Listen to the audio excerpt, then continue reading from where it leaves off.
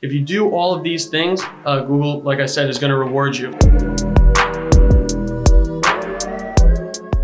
If you're in a very competitive market, like I'm selling LED TVs Sure. or laptops or Mhm. something like that, Yep. how do you adjust your bid strategy because you have to show up top, Yep. right? Yep. Like there are, is it that sometimes you just have to put a, a crazy bid? Is that the case? Or how can I optimize so that I don't pay so much for a CPC? Mhm.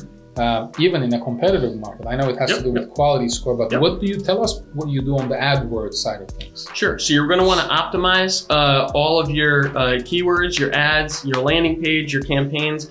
Uh, do all of the uh, extensions that you possibly could. Make sure it's written concisely. Make sure that it's all uh, in good quality. You have a good quality score. There's so many things that you can do for this stuff. Uh, make sure your um, the images are all like like I said non-pixelated and stuff before. But if you do all of these things, uh, Google, like I said, is going to reward you. So um, in terms of getting up there and beating out your competitors, um, you're going to want to go to um, the impression share, uh, and then you're going to want to see how much are you showing up versus your other competitors in terms of impression share.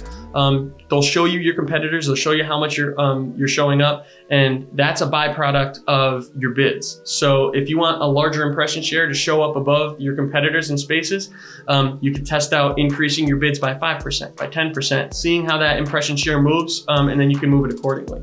Previously, Google had um, average position there, where you could see your average position, um, but they took that out a long time ago, a couple years ago. Um, so now, basically, what we have to do is we have to go by impression share, reverse engineer it, and then um, change the bids a little bit. So you spend more, you're going to be up there a little bit higher.